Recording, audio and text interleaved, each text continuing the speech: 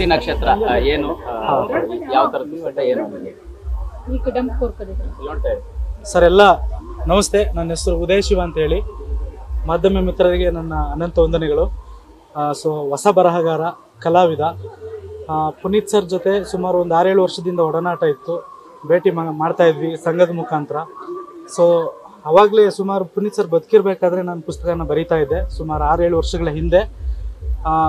ಪುಸ್ತಕದಲ್ಲಿ ಸಮಾಜ ಸೇವೆ ಮತ್ತು ಕಲಾ ಸೇವೆಗೆ ಸಂಬಂಧಪಟ್ಟ ಹಾಗೆ, ಮತ್ತು ನನ್ನ ಮತ್ತು ಪುನೀತ್ ಸರ್ ಒಂದಷ್ಟು ವೈಯಕ್ತಿಕ ನೆನಪುಗಳಿಗೆ ಸಂಬಂಧಪಟ್ಟ ಹಾಗೆ ಪುಸ್ತಕದಲ್ಲಿ ಬರೆದಿರ್ತೇನೆ.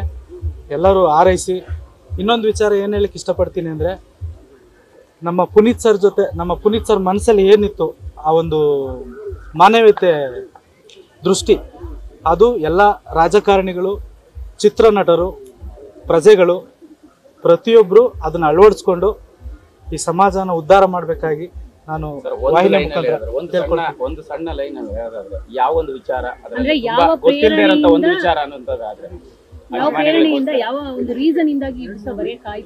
ಮೇಡಮ್ ಅವರಲ್ಲಿರುವಂತ ಒಂದು ದೊಡ್ಡ ಮಾನವೀಯತೆ ಸಮಾಜ ಸೇವೆ ಅವ್ರ ಬಡವರಿಗೆ ಸ್ಪಂದಿಸೋ ರೀತಿ ಇರ್ಬೋದು. ಸೊ ಹಾಗಾಗಿ ಅದಕ್ಕೆ ಸಂಬಂಧಪಟ್ಟಾಗಿ ಬರ್ತಿದ್ದೀನಿ ಓವರ್ ಆಲ್ ಈ ಬುಕ್ ಅಲ್ಲಿ ಒಂದ್ ಲೈನ್ ಅಲ್ಲಿ ಹೇಳೋದಾದ್ರೆ ಏನಿದೆ ಅಂತ. ಒಂದು ಲೈನ್ ಅಂದರೆ ಅದೇ ಮೇಡಮ್ ಒಟ್ಟಾರೆಯಾಗಿ ಅಪ್ಪು ಸರ್ ಒಂದು ಸಮಾಜ ಸೇವೆ ಕಲಾ ಸೇವೆ ಪುಸ್ತಕದಲ್ಲಿದೆ. ಎಲ್ಲ ನೆನಪುಗಳಿದೆ.